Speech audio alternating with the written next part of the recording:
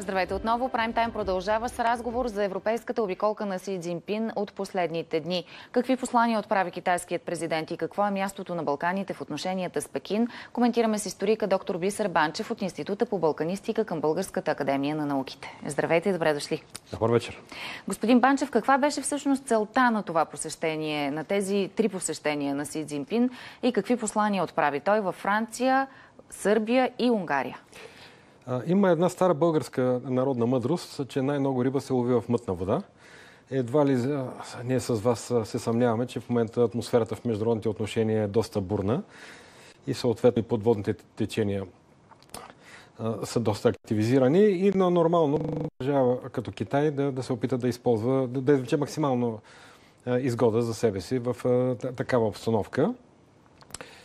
И Виждаме, че бяха идентифицирани три държави, които се опитват, макар и по различен начин, да водят някаква политика, която се различава малко или много от общото русло, което е да кажем в Европа или в така нареченото евроатлантическо пространство. И е съвсем логично Китай да обърне внимание на тях. Значи, Сърбия и Унгария по един начин, Франция по друг начин се опитва да наложи или да си върне някакви лидерски позиции, които е имало в миналото, докато Сърбия и Унгария търсят своето място. И посланието, първото и най-прякото послание на Китай е, че ще залага на сътрудничество с такъв тип държави. То е очевидно. Какви обаче са ползите за Китай? Защото виждахме новинарските заглавия. Еди си колко милиарда за този проект в Сърбия, еди си колко милиарда за сътрудничество в Унгария. Тоест Китай излива едни милиарди в едни инвестиции. Какво печели обаче? А, това а, би трябвало все пак да се сравни с а, общия обмен на, на сумите, с които разполага Китай за международните пазари и за, и за международни инвестиции. Е, и да, така са анализатори по-близки до сръбската опозиция побързаха да отбележат, че инвестициите и приходите, които получават китайските компании от тези инвестиции са горе-долу около една хилядна от това, което са всичките китайски инвестиции по целия свят. Тоест, очевидно, едва ли економически интерес може да е водещ. Тук трябва да отбележим, че само една китайска инвестиция, която в момента ще бъде открита в Унгария, надхвърля два или три пъти всички китайски инвестиции, които до сега са били правени в Сърбия. Очевидно, това, което е важно за Сърбия от економическа гледна точка, не е толкова важно за Китай от економическа гледна точка. За Китай обаче двете държави, Сърбия и Унгария, са важни в пакет, защото тук беше споменато във вашите новини, че това, ЖП линията е част от инициативата Един пояс, един път. Трябва да имаме предвид, че най-прекият път за китайски стоки от пристанището на Шанхай до пазарите в Централна Европа е пътя, който минава през Червено море е, и стига до пристанището на Пирей, оттам ЖП линията, която през Македония, Сърбия стига до Унгария и от Унгария, където ще се правят и големите логистични китайски складове, тя вече стават достъпни до китайските, до, до европейските пазари. Тоест Китай плаща, за да се изгради по-пряк, по-бърз и по-ефтин да. път, за да може да продава повече в Европа. То, то, това е очевидно. Нали? В съвременната, в съвременната политика, която се оказва, че все по-зависима от економика, който пече, продава повече, печели предимства както в економиката, така и в политиката. И в този смисъл Сърбия, докато Унгария е по-важна като място за инвестиции, Сърбия е по-важно като място за транзит на китайски стоки. Но това е економическата страна, която се съчетава добре с политическата, но, но, но за мен и в двата случая политическата е по-важна. Какво политически конкретно печели Китай? Печели благоразположение в тези държави или печели а, какво идеология или някаква ги свързва? Ами, едва ли ще спечели по-голямо благоразположение в Сърбия и Китай от това, в което да, видяхме хиляди с китайски знамена, с китайски и сърбски полицаи съвместно да, патрулират очевидно, по улиците. не всички от тези хора са били закарани на сила. Нали? Няма как да го твърдим. Те, те, сърбите обичат така, когато някой голям лидер. И Путин така посрещаха, и китайския президент посрещаха. А по време пък на COVID бяха написали един огромен плакат Благодарим ти, друже си, нали, във връзка с там а, а, помощи с вакцини. А, защото аз си помислих, че е иронично първо, защото не, не, не, нали, пандемията от Китай тръгна. Значи, на нас не изглежда, да не са го написали иронично. На нас не изглежда иронично, но то част от нали, сръбския речник ни по принцип го възприеме малко иронично. но, но, но не би следвало. А, между другото, а, китайският президент постигна и една друга лична цел. Успя да изведе жена си, която дълги години не беше излизала заради пандемията. А, това в сферата на шегата. Ами не, не в сферата на шегата.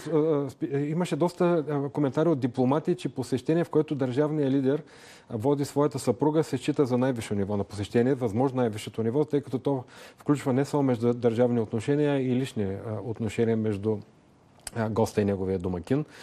И това, което по-малко беше обърнато внимание от медиите, за, за това нали, така акцентирам на него, беше специалната програма, която китайската първа дама получи от съпругата на президента Вучич. Тя беше заведена в Народния музей в Белград, където и бяха показани различни елементи от сръбския фолклор и сръбската история.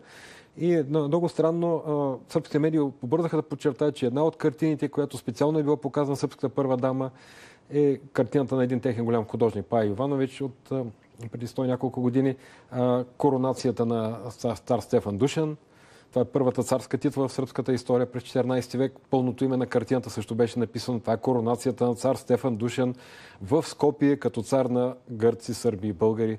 Нали, без да има коментар, но контекста нали, е да, че, че Сърбия а, има някакво наследство като регионален лидер и претендира да бъде регионален, е, регионален лидер и с това би могло да бъде допълнително полезна на Китай в, в този регион. И като пример как, как Китай а, се контактува с регионални лидери.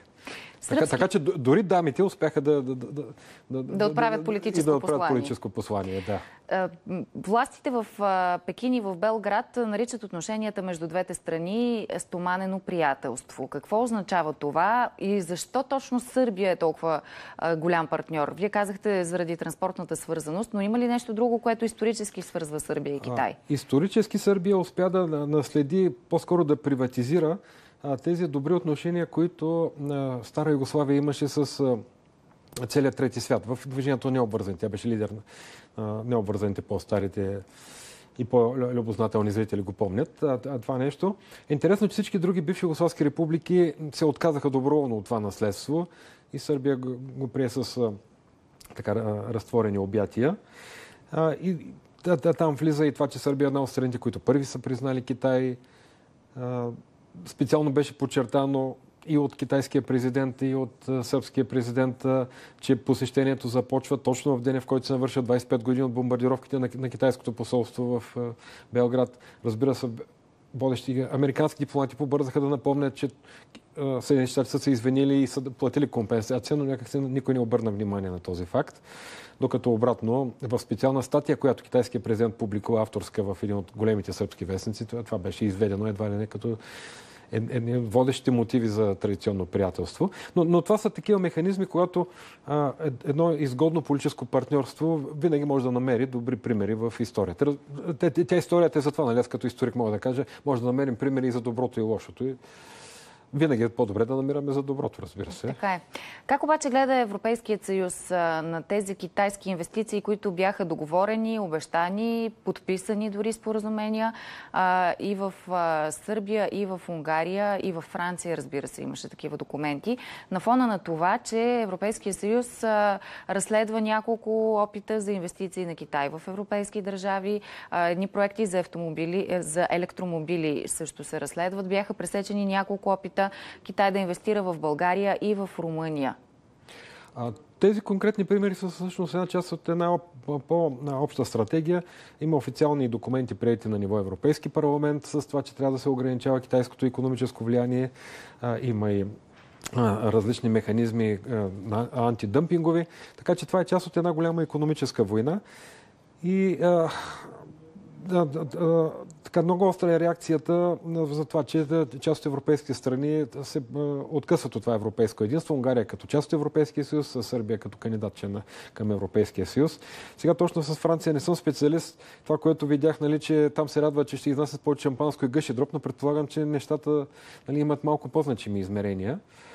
Не, не се приемат добре, но така е в конкуренцията. Свободната економика винаги е била в полза на тези, които са по-гъвкави, докато тези, които изостават и в технологичното превъоръжаване, и в, другите механизми за износ, винаги се получава, получава един конфликт.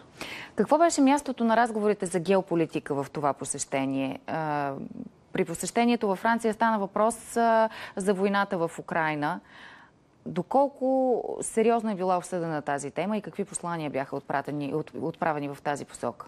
А, лично аз мисля, че във Франция е било много сериозно обсъждането, но няма, няма как да го разберем, защото Франция, знаете, е много сериозно ангажирана по отношение на решенията на, на конфликта в Украина.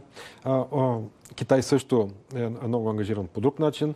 А тук трябва да имаме предвид че най-сериозните западни анализатори буквално още преди две години, когато започна войната, така посъветваха да не се фокусираме върху Русия толкова, да, имаме предвид, че всеки ден удължаване на войната всъщност засилва позицията на Китай в световната политика.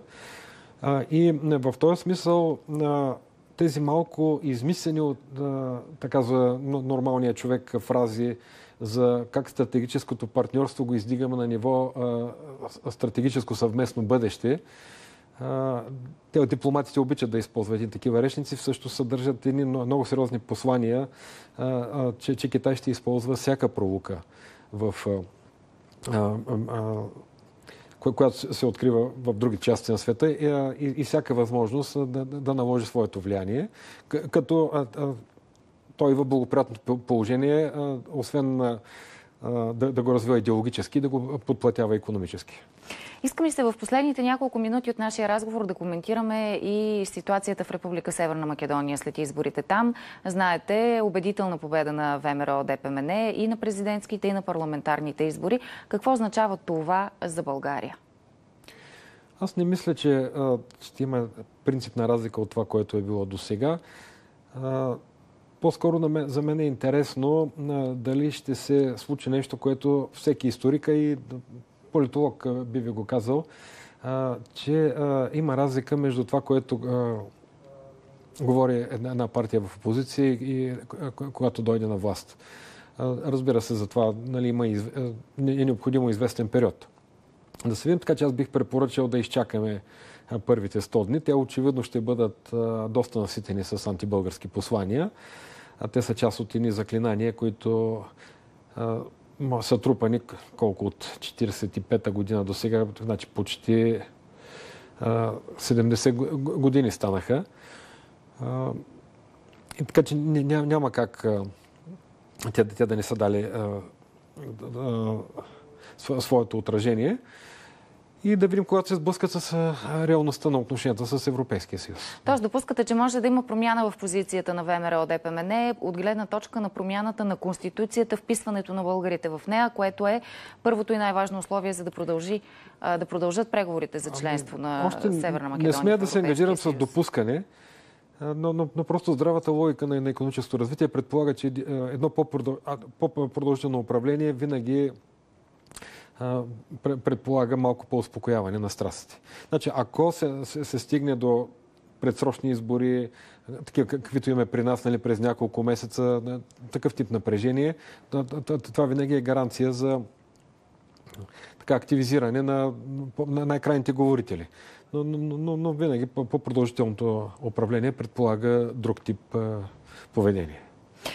Какво според вас доведе до тази убедителна победа на ВМРО ДПМН на тези избори? Знаем, България беше много важна част от кампанията там. Антибългарско говорене чухме, антибългарски послания, думи като български диктат бяха използвани, сравнения недопустими, за които и нашето външно министерство реагира.